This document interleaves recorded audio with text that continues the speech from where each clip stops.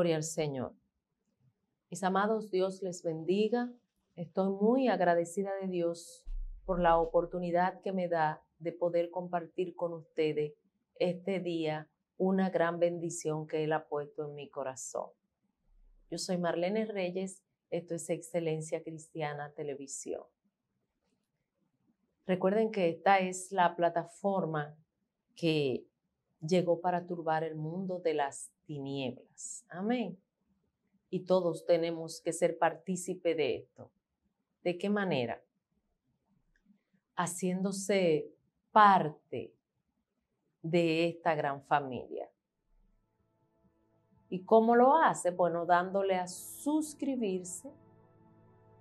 Ahí, cuando este video te llegue, tú le das a suscribirte, le da también a la campanita para que eh, automáticamente te lleguen cada una de las informaciones que subimos que son para bendecir tu vida y le da like a cada video que te llegue. Amén. Y de esa manera ya formas parte de esta gran familia de excelencia. Gloria a Jesús. Mis amados, hoy es un día muy especial y Dios ha ministrado mi vida con un tema que a veces es incómodo, por lo menos yo lo siento incómodo. ¿Por qué? Porque nosotros somos el pueblo de Dios y hay muchas cosas que nosotros no nos podemos dar el lujo de hacer como si formamos parte del mundo. Amén yo quiero compartir con ustedes un tema espinoso. Yo quiero hablar de las suegras y de las nueras. Una situación difícil. ¿Por qué la situación es tan difícil entre las suegras y las nueras? Esto no es de Dios una situación difícil. Ahí podríamos ponerle dos puntos. Entre la suegra y la nuera. Entonces, abro un signo de interrogación y digo, esto no es de Dios. Amén. Porque nosotros no podemos hacer lo que hacen las personas que no le sirven a Cristo o lo que son del mundo. Amén. Entonces, esta conversación que vamos a tener, Dios la puso en mi corazón en el momento que estudiaba el libro de Ruth. El libro de Ruth es un libro preciosísimo, hermano. Es un libro cortito, pero que tiene tanto material para bendecir nuestras vidas. Que mire, en, yo lo leí, en ese momento yo, yo creo que lo leí más de cuatro veces. ¿Por qué? Porque Dios ministraba mi vida a través de lo que leía. Entonces, miren, en este libro nosotros pudimos ver, notar, sacarle punta a la relación que había entre Noemí y sus dos nueras. Amén. Ruth y Olfa. Y por ese momento que pasé envuelta en el libro de Ruth, es que voy a compartir este momento con ustedes hablando de la buena relación que deben tener una suegra y una nuera. Porque es bíblico, está ahí. Entonces, para nosotros lograr eso que se logró de manera tan eficiente en el libro de Ruth entre estas tres mujeres, nosotros debemos estar, número uno, en la misma visión. Número dos, tenemos que tener la misma comunión. Número, número tres, tres, tenemos que tener respeto. Y número cuatro, cordura. Porque ustedes conocen, oiga, y no importa en el país en que usted se encuentre, en que usted nos esté mirando. Es la misma situación y se habla de la misma manera. Entonces yo vengo a decirle a ustedes que eso no es de Dios. Entonces, entre Noemí y sus dos nueras había una relación muy buena. Y yo les invito a que lean el libro de Ruth aunque lo lean, después de haber visto el video, usted puede repetir de nuevo el video, no hay ningún problema. Entre Noemí y sus dos nueras había una relación muy buena. Primero, había una relación sana. No era una relación tóxica. Era sana. Ahí no habían secretos no había habladero por detrás.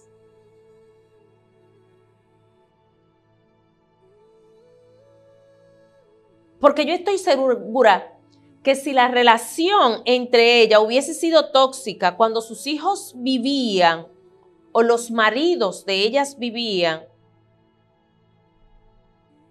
o después de ellas no se hubiesen comportado como se comportaban con su suegra Noemí.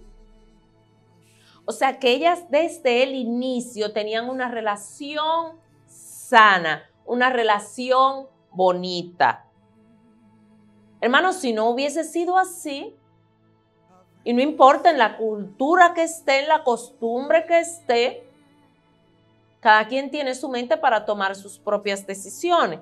Si ellos hubiesen tenido una relación tóxica, una relación dañada, o de dime y te diré, cuando sus maridos vivían, después que ellos fallecieran, porque ellos vivían en la casa paterna, eso era parte de la costumbre. Cuando ellos murieron, ella de una vez hubiesen ido de la casa de Noemí. Y eso no pasó. ¿Pero por qué no pasó? Porque la relación que ellos tenían era una relación buena. Se quedaron viviendo con ella. Eso es lo que dice la palabra, amén. Eso es lo que dice la Biblia. Cuando nosotros iniciamos desde el capítulo 1 ese libro, nosotros vemos que esa, que esa relación entre ellas inició súper bien. Gloria a Dios. Hermanos, y tenemos que tener pendiente que no era una sola nuera, era una sola suegra, sí, pero eran dos nueras. No era una nuera, porque quizá podríamos decir, ellas se llevaban bien porque hacían lo que Noemí quería. Nosotras nos conocemos, hermanos, somos mujeres. Y usted lo sabe. Las mujeres, donde quiera que estamos, somos mujeres. Y no, no importa el idioma, no importa la nacionalidad, somos mujeres. Es triste decirlo, pero a las mujeres nos gusta de momento mucho hablar. Y a veces nos reunimos eh, eh, eh, todas y conversamos cosas que yo sé que no tenemos que conversar en algunos momentos. La Biblia dice en el libro de Proverbios que en la mucha palabrería nunca falta pecado. Lo que quiero llevar es que la relación de Noemí y estas mujeres era tan sana porque tanto Noemí como Orfa y Ruth eran personas que tenían su mente sana parece que ellas no le habían dado oportunidad a sus pensamientos para que dañe sus vidas. Es más, yo me atrevo a decir que esas mujeres no sufrían de depresión. ¿Por qué? Porque hay una situación que pasa, miren, especialmente, yo le voy a dar tips, tips bien cortito, sin entrar en detalle sobre esto de que esas mujeres no sufrían de depresión. El problema con la depresión es que a veces uno tiene eh, en su personalidad que no es la más fuerte. O sea, no es un colérico, no es un sanguíneo, puede ser un flemático, puede ser... Entonces, a veces nosotros nos encerramos en nosotros mismos. Y hermanos, nos llegan unos pensamientos que nosotros le damos vida. Y en ese encierro, imagínense, no comparto con nadie por cualquier razón, porque hay, hay cosas que te pueden detonar el inicio de la detonación de tu ser, un ser depresivo. Por maltrato, por cosas que viviste, por cosas que no viviste, por, por sentimiento, amor o desamor o cosas que recibiste o no recibiste. Entonces, en vez de yo hablarle a mi propio self, lo que hago es que me, deprimo y me llevo de lo que está entrando del, del exterior y a eso le doy cabida. Entonces empiezo yo a hacer como pensamiento, a cavilar, a formar cosas que no estaban en los propósitos de Dios. A veces a ti te entran unos pensamientos en la cabeza y tú con ese pensamiento haces unas edificaciones que tú dañas, tú matas, tú quitas, tú pones, tú haces, tú creas, tú formas. Por eso que uno tiene que tener mucho cuidado cómo le da cabida a los pensamientos o le da vida porque hay pensamientos que matan, que dañan, que destruyen, como esos pensamientos depresivos. Entonces, esas mujeres, como tenían sus mentes sanas, ella no pensaba que la una quería ser más que la otra, o sea, no había una competencia interna entre esas tres mujeres. Su mente era sana. Por eso era que se llevaban bien. Amén.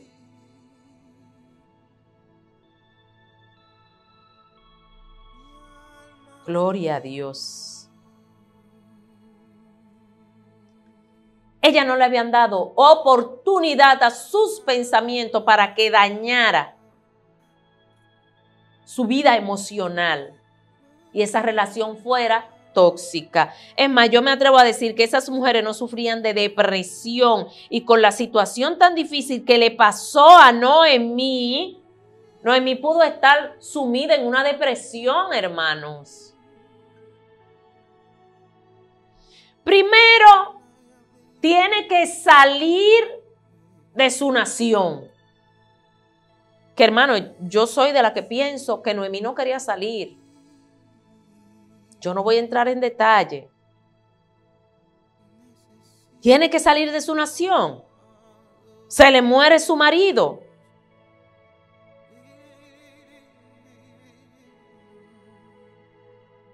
Hermanos, le digo porque yo tengo esa tesis que ella no quería salir de su nación, porque cuando ella llegó, me estoy adelantando, cuando ella llegó después de que dijeron que la gente se alegró y vio a Noemí de lejos. Llegó Noemí, yo me imagino, en, Jerusalén, la gente alegre, en, en Belén, cuando ella llegó. No me llamen Noemí, llámenme Mara. Llámenme Mara. Y usted dirá, pero ¿y por qué ella se fue? No, porque ella tenía que dejarse guiar por su marido, él es la cabeza. Entonces usted tiene que dejarse dirigir Amén. Entonces Noemí se dejó dirigir por su esposo el Cana y se fue a la tierra de Moab, donde él, donde en ese momento había abundancia. Entonces vamos a entrar de nuevo. Noemí pudo haber estado depresiva. Tiene que salir de su tierra. Se le muere su marido. Wow. Y número tres, ella sabiendo y conociendo las escrituras que no debían casarse con mujeres moabitas. Sus hijos violentaron la ley de Jehová y se casaron con mujeres moabitas. Estaban, wow, los principios y los parámetros de su nación. Mano, Noemí sufría eso. Ahora, a quien yo creo que le daba par de tres era a su esposo y a su familia. Porque, según el texto, él no se opuso. Y usted sabe que en ese momento, en esa cultura, la batuta era el papá. Se casaron sus hijos con mujeres moabitas. Ellos no llegaron enfermos a Moab. Ni eran hijos enfermizos. Pero se murieron en Moab. No tuvieron ni hijos. Amén. Se le mueren sus hijos. O sea, que era para, e, para que esta mujer esté envuelta en una depresión, era para que Noemí esté triste, llorando, quejándose, angustiada. Pero este no era el caso de Noemí, ni de sus dos nueras. Hermano, porque hay cosas que se imitan. Hay cosas de las que yo soy un modelo de las buenas acciones, de los buenos principios, de los buenos valores. Cada una de estas mujeres vivieron su duelo. Porque si ellas no hubiesen vivido su duelo y pasado por cada una de las etapas del mismo, ellas hubiesen, vuelvo y repito, estar sumida en depresión y en tristeza, y ese no era el caso de ninguna de las tres. Entonces, había una relación tan sana entre ellas, primero, porque estas dos mujeres, aún siendo de una tierra que Jehová no le agradaba, pero donde quiera se cuecen habas. Ellas dos sabían que se estaban casando con una persona de cultura diferente a la de ella y ellas decidieron casarse con ellos. O sea, que no, se supone que no eran ellos los que tenían que cambiarse para la de ella, sino ellas para la cultura de ellos. Que a veces lo contrario, hermano. Usted sabe que hoy día nosotros parece, muchas personas, me voy a referir así, que nacen en la iglesia o que viven toda la vida en la iglesia y de momento se dejan jalar por principio, por conductas del mundo, hermano, porque, porque yo tengo que encajar en el sistema. El sistema es quien tiene que encajarse a mí o entrar a mi sistema. Yo no puedo entrar al sistema del mundo. Porque por eso, hermano, que hay tantas situaciones ahora mismo en la iglesia, que hemos culturizado la iglesia con culturas del mundo. Hemos migrado muchísimas cosas negativas a la iglesia que son del mundo para nosotros encajar en esta sociedad. Se supone que nosotros somos los que somos extraños aquí. Se supone que nosotros somos lo que violentamos lo que no debemos encajar. Y así debemos quedarnos. ¿Por qué? Porque el reino de nosotros no es de este mundo. Si yo soy embajadora del cielo, con quien yo tengo que encajar es con los principios del cielo. Por ende, yo no tengo que estar llevando para que encajar, para congraciarme con el mundo, para yo jalar la gente que venga a la iglesia. Tengo que hacer muchísimas cosas extrañas, hermano. Ay, hermano Lenny, tú, tú no estás hablando de ese tema, por favor, enmárcate en tu tema.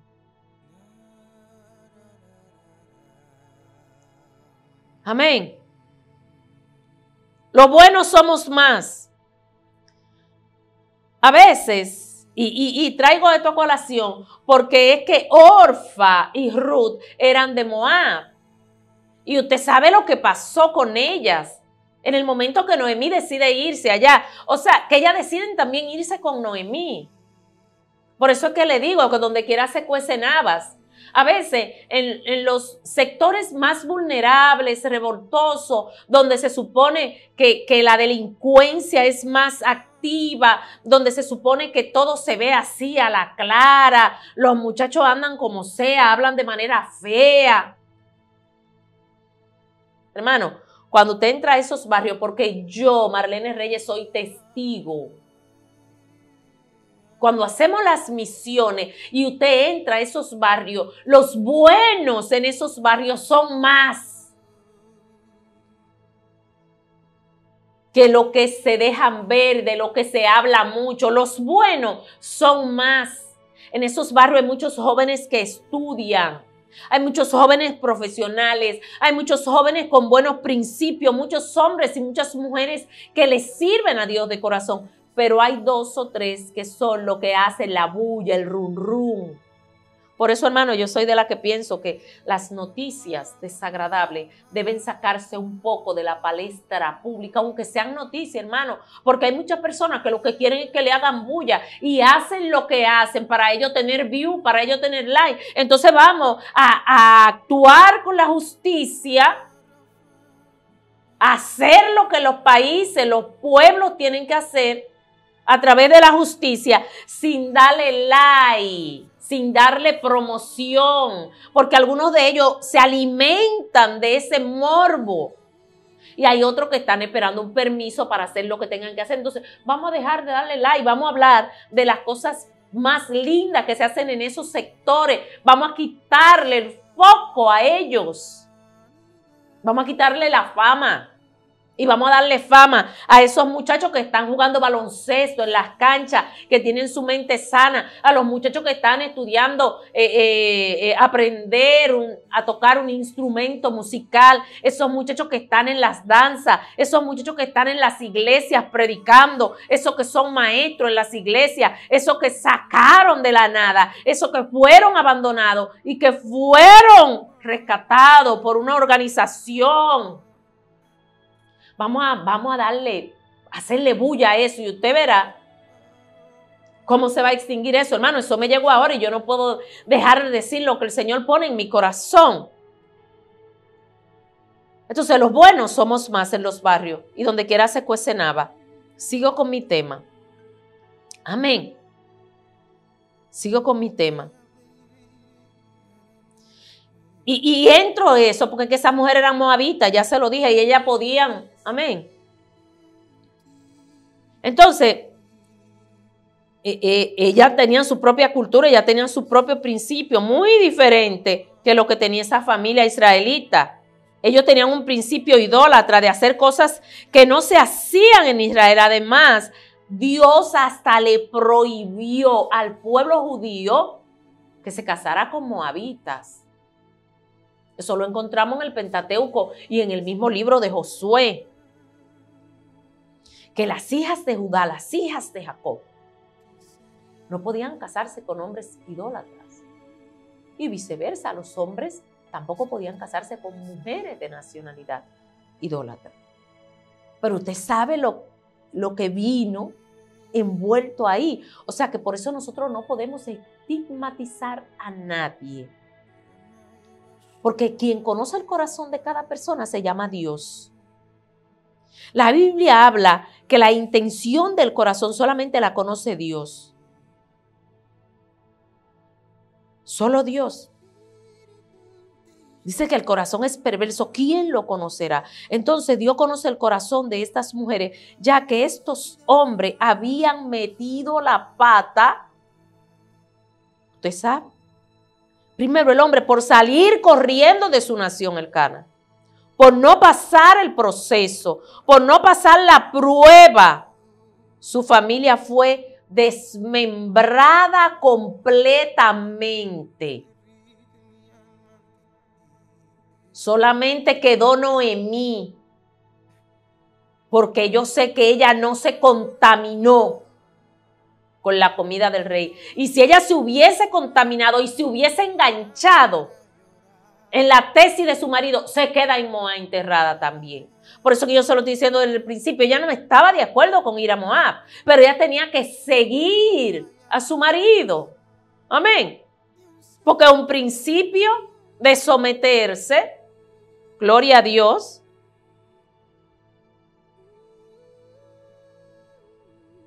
Entonces, vemos el trato que se dan estas tres mujeres. Un trato con respeto, con altura. Cómo estas dos nueras tratan a Noemí con ese respeto. Se quedaron al lado de ella. ellas dos eran jóvenes, pudieron desampararla. Ya Noemí, una mujer entrada en edad, una anciana quizá. Gloria a Dios. Pero ella le daban un trato tan humano a esta mujer. También le daban un trato, ella, Noemí, a ella como nuera, le daba el mismo trato porque ellas podían haberse, haberse quedado con su familia, porque ya ellas podían irse a vivir con su papá y su mamá. Pero ellas decidieron quedarse con su suegra y llevarse bien hasta el último momento. Entonces, eso no es bíblico. A lo que nosotros le damos fuerza, a lo que nosotros le damos poder, eso va a pasar. ¿Por qué? Porque la palabra se posicionan y toman poder según como nosotros lo damos. Y si nosotros repetimos en la iglesia que las suegras y las nueras no se llevan bien, ¿qué va a pasar? Porque es lo que nosotros estamos propagando. Por eso no es bíblico que las suegras y las nueras no se lleven bien. Que la nuera ande diciendo que su suegra eh, es la mujer más mala. O la suegra diga que su nuera es la mujer más mala. Eso no es bíblico. Hermano, vamos a sacar eso de la iglesia. Nada más no son las palabras que usted pueda proferir en contra de sus hijos que toman posicionamiento en el mundo de las tinieblas. También las palabras que usted profiere en contra de su suegra o su nuera toman posicionamiento en el mundo de las tinieblas. Amén. Porque ¿cuál es la situación de yo no llevarme bien con mi suegra? De usted no llevarse bien con su suegra. ¿Cuál es? Dígame y más siendo cristiana. Eso hay que sopesarlo y que no me diga nadie nada. No, que esa suegra es difícil. Pero tú también puedes ser difícil, porque nada más se habla de la suegra. Pero donde hay una suegra difícil, hay una nuera también que es difícil. Hay que medir de lado y lado. A ver qué es lo que está pasando, porque nosotros debemos medirnos, yo como nuera también. Aleluya. Yo como cristiana con lo que me tengo que medir es con la palabra. Yo como cristiana, con quien me tengo que medir es con Jesús.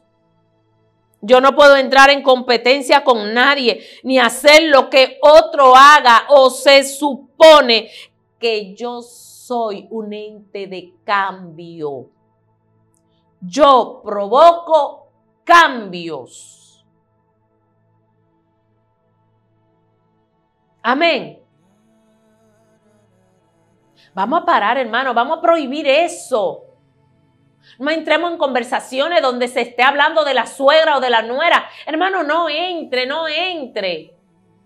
Vamos a cambiar la manera de esta conversación. Y cuando llegue, cámbiela automáticamente. Usted la puede cambiar en su mente, en su corazón. Cuando usted quiera proferir una palabra de maldición en contra de una de ustedes, cámbiela corriendo y diga una palabra de bendición, aunque el diablo no quiera, aunque el sistema no quiera, bendiga a su suegra, bendiga a su nuera. Nosotros somos provocadores de cambio. Porque nosotros imitamos a Jesús. Nosotros modelamos a Jesús. Uno de los cambios que nosotros como iglesia, como mujeres de Dios, porque se habla mucho de la suegra, no se habla de los suegros. Usted está entendiendo cómo es.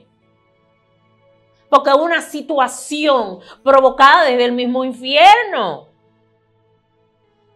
Porque tanto una suegra como una nuera tiene un poder exagerado en el mundo de la tiniebla cuando dobla sus rodillas delante de Dios. Entonces, si usted tiene esta situación, es una situación que va a impedir que usted logre cosas en el mundo espiritual. Entonces, nosotros tenemos que eliminar eso, hermano.